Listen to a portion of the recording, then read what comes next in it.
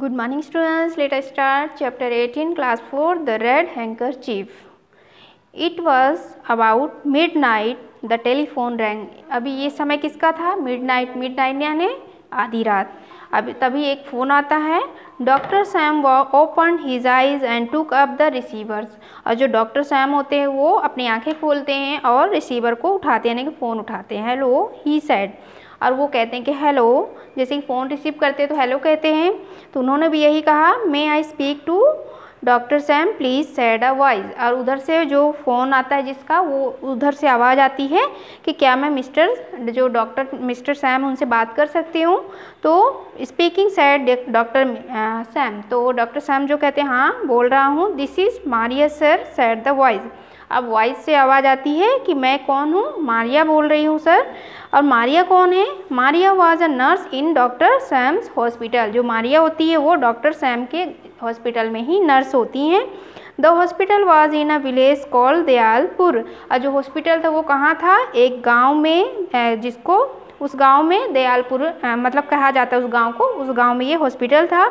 Doctor Sam work there during the day and came back home every evening और जो doctor Sam होते हैं, हमेशा मॉर्निंग टाइम में जाते हैं और वहाँ वर्क करते हैं, पूरा दिन काम करते हैं और शाम के टाइम घर लौटते हैं।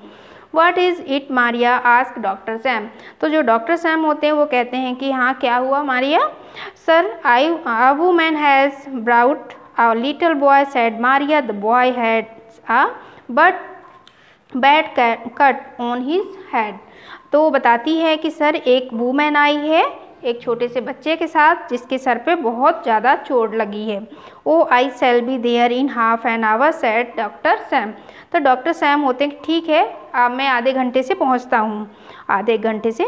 Doctor Sam look at his watch और डॉक्टर सैम जो होते हैं, अपने घड़ी को देखते हैं इट वॉज़ इलेवन थर्टी और वो क्या टाइम था? साढ़े ग्यारह थे। He looked out of the window वो बाहर देखते हैं खिड़की से। The night was dark and it was raining hard और रात कैसी थी? बहुत ज़्यादा अंधेरा था और बारिश बहुत तेज़ हो रही थी। Dayalpur was ten miles from doctor Sam's house और डॉक्टर सैम के घर से दयालपुर कितना था? टेन माइल दूर था। दयालपुर कहाँ है? वो हॉस्पिटल था दयालपुर में, है ना? एक गाँव है। उस गाँव का नाम दयालपुर है। सर सैड मारिया मारिया कहती है these people are very poor the boy's father work in a factory in the city he can not pay you any fees और आगे नर्स ये भी बताती है कि सर जो ये जो बच्चे आए, जो लोग हैं, बहुत गरीब हैं। इनके फादर जो हैं, एक फैक्ट्री में काम करते हैं, जो शहर वाली फैक्ट्री है और ये कुछ भी पे आपको नहीं कर सकते हैं। That's all right said doctor Sam tell them not to not to worry तो डॉक्टर दयाल सैम होते हैं, वो कहते हैं, कोई बात नहीं, उनको बताओ कि सब ठीक है, कोई बात नहीं और उनको बोलो कि चिंता ना करें। Doctor Sam got into his car and drove off और डॉक्टर कार जो होते हैं, अपनी कार को निकालते हैं और जल्दी से जाते हैं। The night was dark it was raining hard अब जो रात थी, बहुत अंधेरा था और बारिश जो थी, और तेज़ हो गई।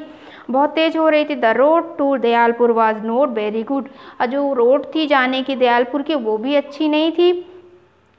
ज़्यादा ठीक मतलब अच्छी नहीं थी but doctor Sam drove very fast फिर भी वो गाड़ी कैसे चला रहे थे कार को? बहुत तेज़. He was thinking of the poor boy who had a bad cut on his head और वो सोच रहे थे चलाते समय उस बच्चे के बारे में जो बहुत ज़्यादा जख्मी हो चुका था। Doctor Sam looked at his watch, वो अपनी घड़ी को देख रहे थे। It was already twelve o'clock और अब जाते जाते उनको पहले से ही बारह बज चुके थे।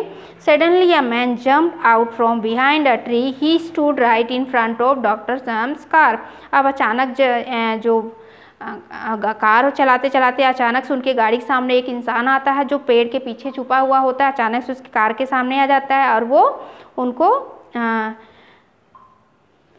जाके सीधे खड़ा हो जाता है। Doctor Sam put his foot down on the brake pedal, the car stop अब यहाँ पे डॉक्टर दयाल होते हैं, वो ब्रेक लगा देती हैं और कार जो होती रुक जाती get out of the car shouted the man there was a big knife in his hand और उस इंसान के हाथ में क्या होता है? एक बड़ा सा नाइफ होता है और वो चिल्ला के कहता है डॉक्टर सैम को कि बाहर निकलो।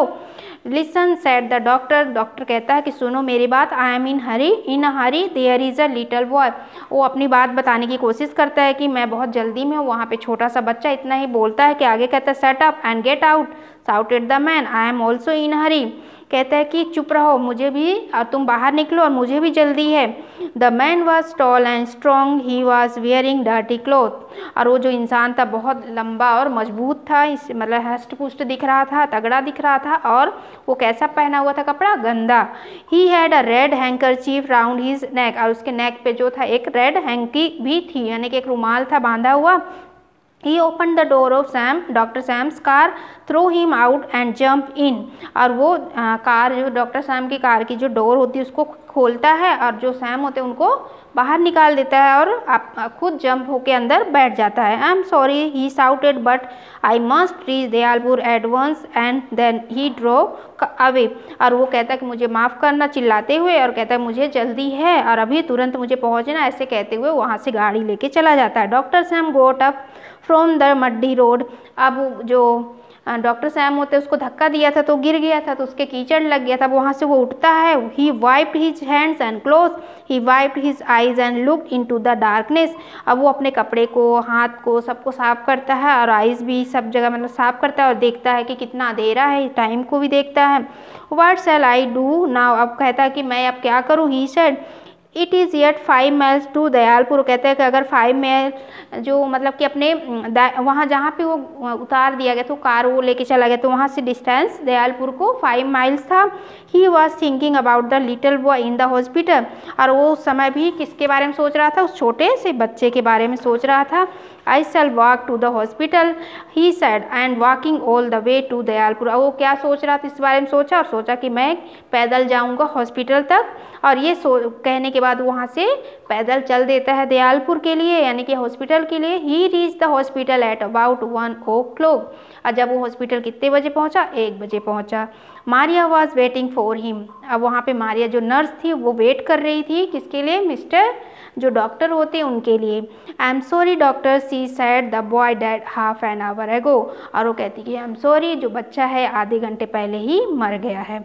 A man was cry crying my son my only son और जो आदमी होता है, वो चिल्लाता है, रोता है और कहता है, मेरा बच्चा, मेरा बेटा। इस तरह के वो रोता है। Doctor Sam look at the man और जो डॉक्टर सैम होते हैं, वो मैन की तरफ़ देखते हैं। The man was tall and strong और मैन जो था बिल्कुल हट वही था, लंबा सा स्ट्रोंग यानी मज़बूत, बढ़िया, जो बढ़िया, मोटा, ताज़ा। He was wearing dirty cloth अब वो कपड़े जो होते हैं, गंदे ही पहना था, जैसे कि वहाँ पे उसने देखा था। And he said he had a red handkerchief round his neck और उसके गले में ठीक उसी तरह से हैंकी लाल कलर की पहन बांधी हुई थी। तो ये मतलब यहाँ पे ये क्या समझ में आ रहा है कि जो मैन है किसकी डॉक्टर जो सैम किसकी तरफ़ देख रहे थे, वो जो बच्चा मर गया है, उसी के फादर थे ये जो मैन वहाँ पे मिला था, है ना, जो कार लेके भागा था। तो ये उसी का बेटा था, वो अपने बेटे के लिए यहाँ पे दौड़ता हुआ आ रहा था, जिसके लिए जो डॉक्टर सैम थे उस बच्चे के इलाज के लिए आ रहे थे। वहीं पे ये उसके फादर थे कि वो अपने बच्चे को देखने के लिए जल्दी में आए थे, है ना? तो क्या समझ में आया कि ये बच्चा इसी आदमी, इसी इंसान का बेटा है है ना? तो ये थी स्टोरी नेक्स्ट टाइम आपके इसके सोल्यूशन थैंक यू बंद नहीं